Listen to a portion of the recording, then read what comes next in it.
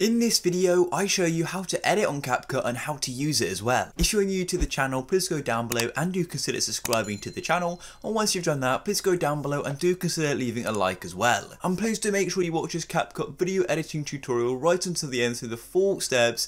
And without any further ado, let's go and jump into this. I'm now on my phone, just a quick note, this guide is also going to work on Android and any other type of device which has got CapCut on, they're all very similar.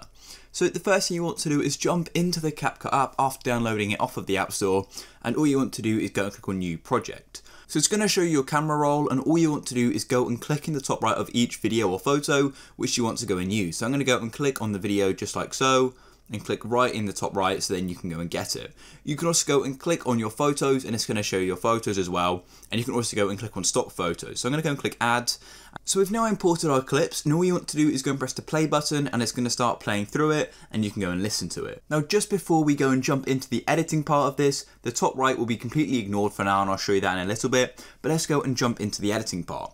So all you want to do is go and click on edit in the bottom left just like so and as you can see we can go and resize the video so as you can see it says pinch I can go and zoom it in just like so or you can go and zoom out as well but I just wanted to fit the screen normally so I'm going to go and fit it just like so and you get that white box then what we're going to do is I want to go and split and trim where I start speaking. So I go and start speaking just about here. So I'm going to go and click on split just like so. And as you can see, I can now go and delete the other clip I just split. So I'm going to click there.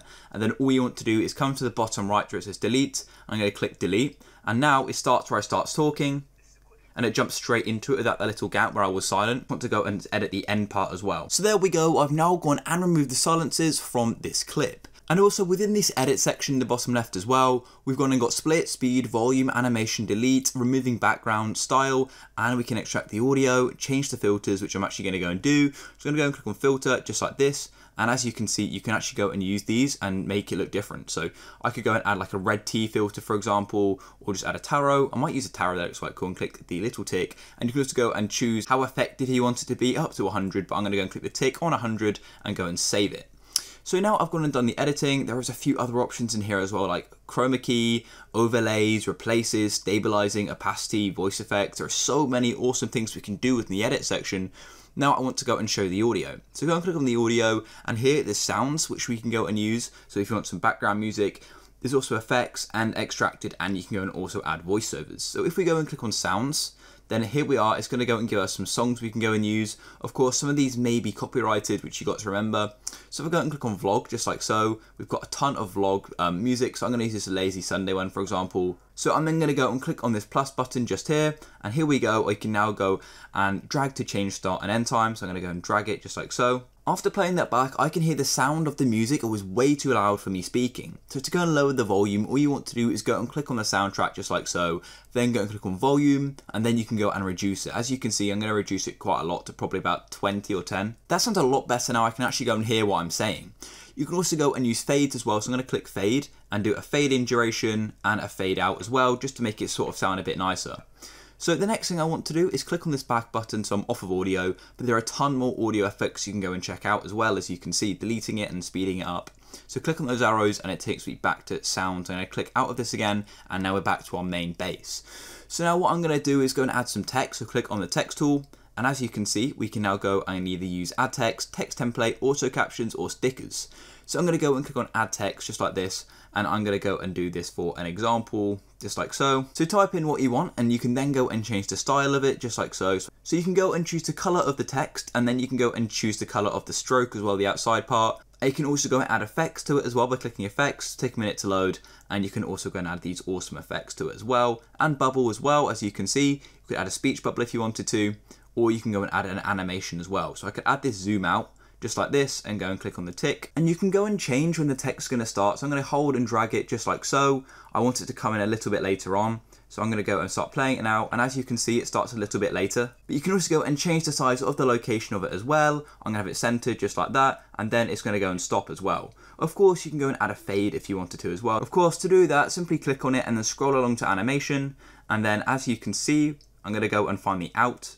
Click on out and then we can go and have a dilute maybe or fade out and then when it comes to an end, as you can see, it then fades. So then I'm going to go and click on those back arrows once again in the bottom left, and then once again click it again.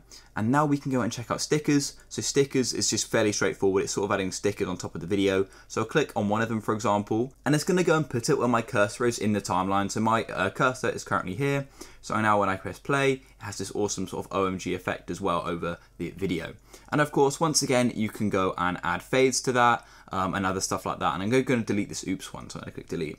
And boom we just have this one here. And then of course come and go along to animation just here and we can go and add a bounce in and then a bounce out as well if you wanted to, just to make it a bit smoother. Then there's also overlay, and there's also an overlay option here as well. So click on overlay, and we can go and click add overlay just like so, and we can go and add another video on top of the video which is already there. If you want to have like a face cam or something like that, so now I'm going to click on the back button in the bottom left once again. And there's also the effects option as well. So click here and there's video effects and body effects. So I'm just going to use video effects for this example. Take a minute to load and there's all these awesome effects we can go and add. For example, this magnifying glass, click on it and it's going to go and zoom in. So I'm going to turn that off because I don't really want that. Then go and click on the tick to get out of that and we'll go and click back again.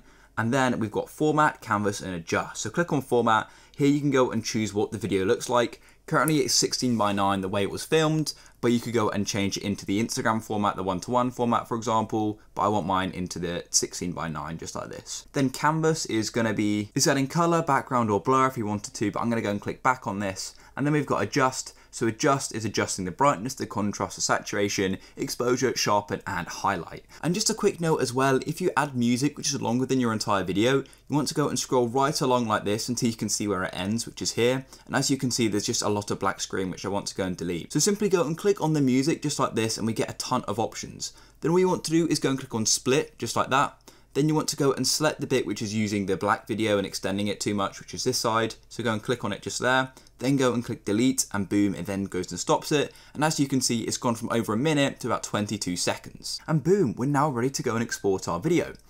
So then all you want to do is go to the top right where it says 1080p or it may have a different number for you. And all you want to do is go and adjust these resolutions and frame rates to what you want it to be when it's exported. So for me, I want it to be 1080p, but I do want it to be 60 FPS. So I'm going to go and drag this up to 60 just like so.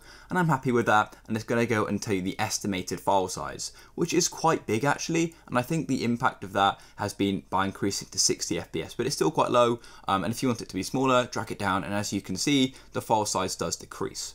So I'm happy with that, so click off that and then go and click on the arrow pointing upwards, just like this. So once it's exporting, it's then gonna go and give us this option here to where we can go and choose where you want to go and share it. So if you want to go and get it into your camera roll, all you want to do is go and click on other, and it's going to take a minute to load and all you then want to do is go and click on save video. So go and click on save video and it's going to go to your camera roll but you can also go and add it to TikTok, Instagram, mail, messages, auto drop and so much more. Leave a like if you found this useful, subscribe for more and peace.